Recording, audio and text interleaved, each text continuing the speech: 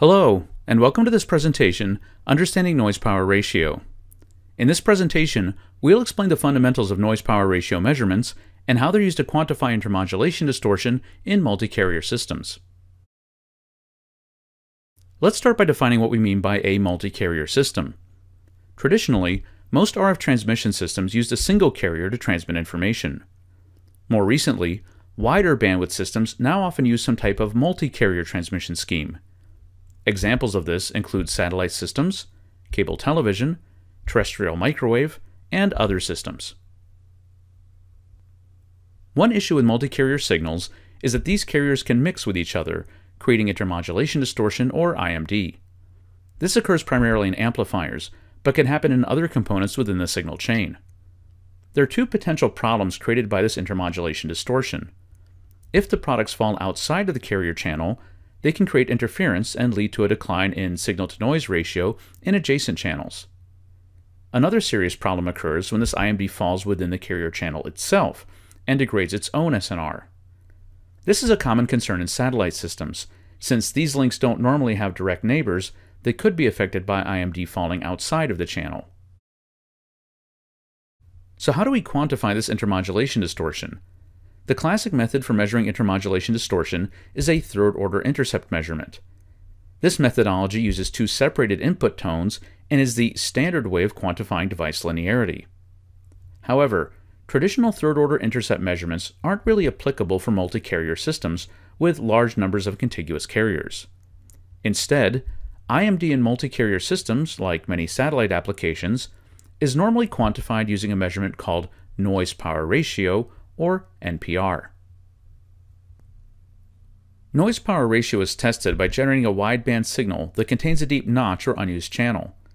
The signal width is usually the same as the nominal channel width, and a deep notch is created somewhere within this channel. This notch signal is then input to the device under test, for example an amplifier. Intermodulation distortion will cause the notch to fill with noise. This is sometimes referred to as spectral regrowth. We then measure this new notch depth using a spectrum analyzer. Noise power ratio is the ratio, in dB, of the carrier power to the notch power. A higher noise power ratio, or less noise in the notch, means lower intermodulation distortion. Note that the size, location, and number of notches are chosen based on a given DUT or application, and NPR tests are often repeated with different notch sizes, locations, and power levels. Measuring the depth of the notch is relatively easy, so the real challenge in noise power ratio testing is the creation of the test signal. There are two main ways of generating a test signal when measuring noise power ratio. The first is using an analog signal generator, or noise source, combined with an analog notch filter. The second method is using a vector signal generator. We'll discuss both of these methods in just a moment. Ideally, we want the test signal to be as close as possible to the real signal that passes through the device under test. In other words, we want the same or similar modulation, peak to average ratio, etc., since these will affect the level of intermodulation distortion generated by the device. We also need the notch to be as deep as possible, especially if the level of intermodulation distortion is low. Depending on our test requirements, we may need more than one notch, or notches with different widths. And finally, we may need to change the position of the notch to measure the IMD at different points. We'll start by looking at how NPR test signals are created using an analog signal generator or noise generator. We'll start by creating band-limited noise, ideally with the same width as the channel that we're emulating, then use a notch filter to create the notch. The use of traditional analog notch filters is problematic because deep, narrow notch filters are hard to make and relatively expensive. They also are usually not tunable, that is, they have a fixed stop band, so we need a separate notch filter for each notch frequency. One attempt at getting around these limitations is to create the test signal at one frequency and then convert it to the test frequency. This approach doesn't work well because the frequency conversion process creates intermodulation distortion and degrades the depth of the notch. Analog NPR test signals also suffer from a serious drawback in that they're not very realistic. A broadband noise signal will generally not create the same levels of intermodulation distortion as the actual modulated signal, especially when the modulated signal has a high crest factor or peak to average ratio. The more flexible and more accurate approach to creating NPR test signals is using a vector signal generator. One of the main advantages in using a vector signal generator is that a realistic test signal can be used. That is, one that has the same modulation characteristics, peak to average ratio, etc., as the signals that are normally used with a device under test. It's also easier to create multiple notches, and we can typically get better notch quality, that is, steep, deep, and narrow. There are several different ways that we can create notches in the vector signal domain. The first of these is offline processing, where the notch is statically added to an arbitrary waveform file using tools such as MATLAB. Unfortunately, the pre-processing of the files is a non-trivial, time-consuming task and is also fairly inflexible. You have to create a separate waveform file for every scenario. An easier approach is using multi-carrier CW, where large numbers of unmodulated carriers are used to fill up the test signal bandwidth minus the notches. This is easy to do and much more flexible, but the resulting signal is less realistic.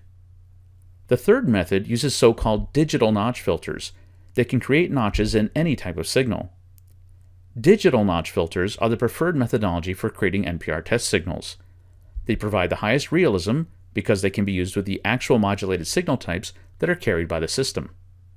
They're also completely flexible, allowing the creation of multiple notches with any arbitrary width and position. And they can be defined, updated, and enabled or disabled in real time, with no need for offline pre-calculation of waveforms. So in summary, noise power ratio, or NPR, is used to measure the level of intermodulation distortion in multi-carrier signals, and is a very common measurement in satellite systems. The test procedure is very straightforward.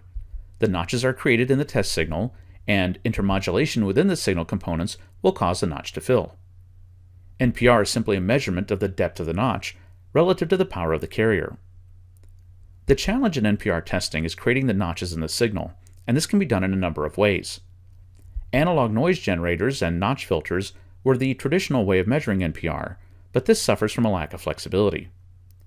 Notches can also be added to arbitrary waveform files using offline pre-processing, but this is also a relatively inflexible approach that requires significant time and effort. A wideband signal with notches can be created using large numbers of appropriately spaced CW carriers.